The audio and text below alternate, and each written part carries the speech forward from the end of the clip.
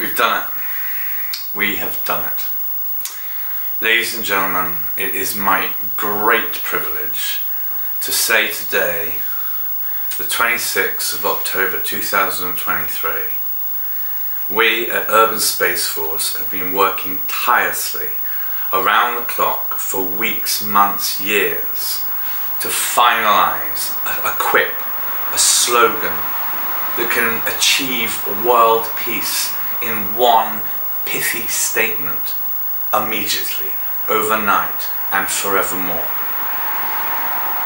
And, ladies and gentlemen, we believe we have now achieved that noble goal.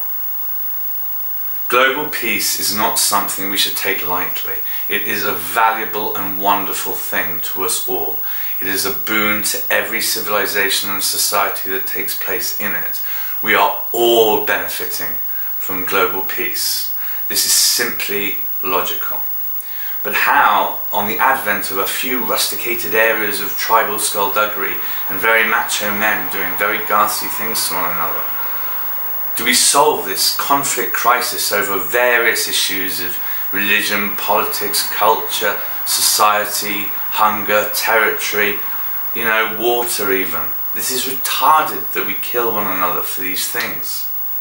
And so, with this allure in the modern world with games such as Call of Duty and Battlefield 3, which are awesome technology and great fun, they can nevertheless give people the impression that war is cool, exciting, rad, really, really sexy and dangerous, right?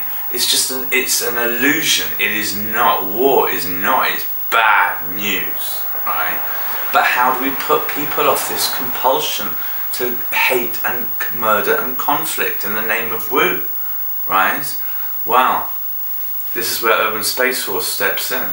You see, ladies and gentlemen, today we have finally coined the phrase that can put off any man, any real man in history from thinking conflict and brutality is a good idea. Ladies and gentlemen,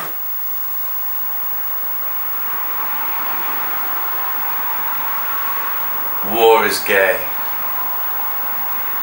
Use the knowledge well and use it to defend the peace of humanity. It'll work every single time against numbskulls.